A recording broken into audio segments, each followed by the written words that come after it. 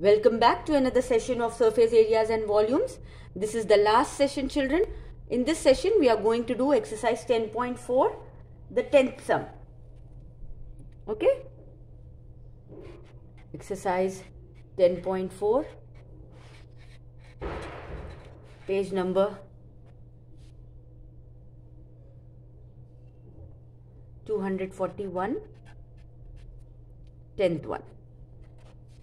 Okay, children, look into your textbooks. I am reading the question for you.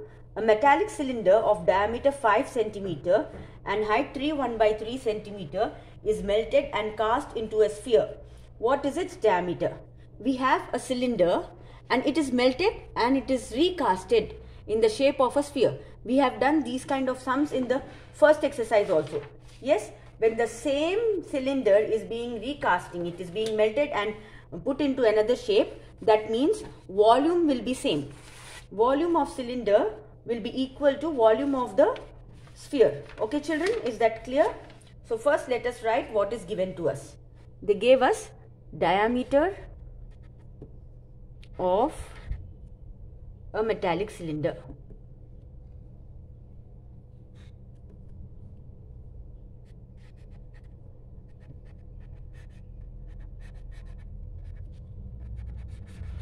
Yes, that is given to us as 5 centimeter. As soon as we get diameter, we are supposed to find what? We are supposed to find the radius. Okay, radius of the metallic cylinder will be equal to 5 by 2 which, be, which will be equal to 2.5 centimeter. Yes children, they also gave us height of the metallic cylinder that is equals to 3 1 by 3 centimeter it is a mixed fraction. Let us write it as improper fraction. So that becomes 10 by 3 centimeter. Okay. Then we have to find volume of the cylinder. Why are we finding volume of the cylinder? Because if we find the volume of the cylinder, we will come to know the volume of the sphere as well. Okay. The formula to find volume of the cylinder is pi r square h. Substituting in the formula, it is 22 by 7 into r is 2.5 it's r square so multiplying 2.5 once again and h is nothing but 10 by 3 nothing gets striked out so i'm not finding the answer. I'm going to equate it with the volume of the sphere. Okay children?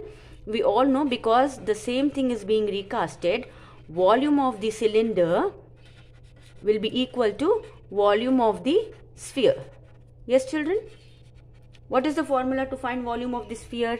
We have 4 by 3 pi r cube. So this is nothing but the volume of the cylinder. So I am equating them 4 by 3 pi r cube is equals to 22 by 7 into 2.5 into 2.5 into 10 by 3. We are actually supposed to find the value of the diameter. So let me find the r first.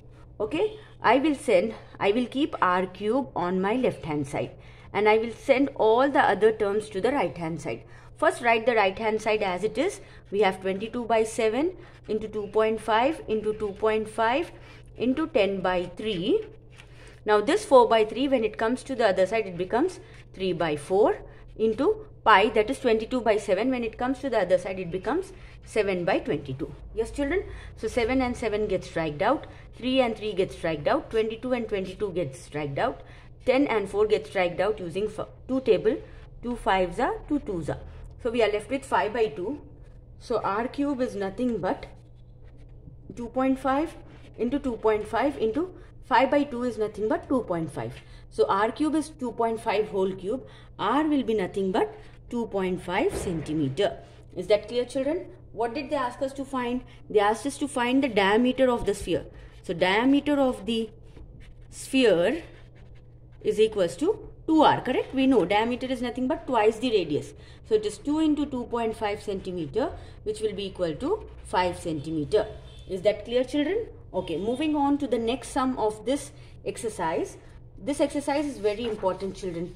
Please concentrate and do it on your own. The 11th one. How many liters of milk can a hemispherical bowl of diameter 10.5 centimeter hold Children, do it as your homework. This is only formula based. Use the formula volume of the hemispherical bowl is 2 by 3 pi r cube. use this formula 2 by 3 pi r cube and whatever answer you get convert to convert it into liters divide by 1000 okay children i'm giving you this as your homework now the last sum which is very important pay attention and listen a, a hemispherical bowl has diameter 9 centimeter the liquid is poured into cylindrical bottles of diameter 3 centimeter and height 3 centimeter if a full bowl of liquid is filled in the bottles, find how many bottles are required. Okay. Now, in this sum, we are going, what we are doing, we have a hemispherical bowl. You know what is a hemispherical bowl?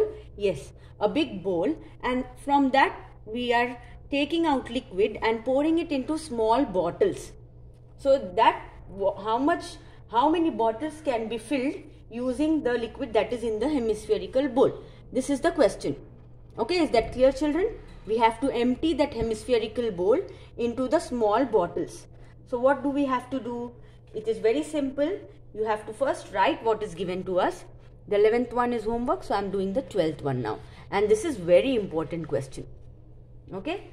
So we have diameter of a hemispherical bowl. This is given to us here. Hemispherical bowl that is equals to 9 centimeter. As soon as you get diameter, what are you supposed to find? You are supposed to find the radius. Radius of the hemispherical bowl will be equal to 9 by 2 that is equals to 4.5 meter. Yes children, so let us find how much water is there in that bowl.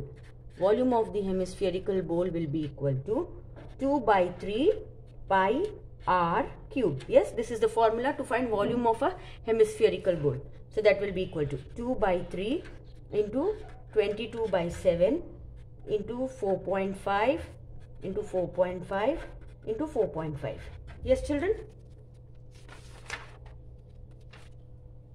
Okay. So that is equals to. Let us strike out 3 ones are 3 ones are 3, 3 fives are 15. Okay. So this is nothing but equal to 44 into 30.375 divided by 7. If you multiply all of these, you will get 30.375. Okay, children? Now, next, multiply and divide. You will get the answer 190.92 centimeter cube. Okay? Then find the volume of cylinder. Volume of the cylinder.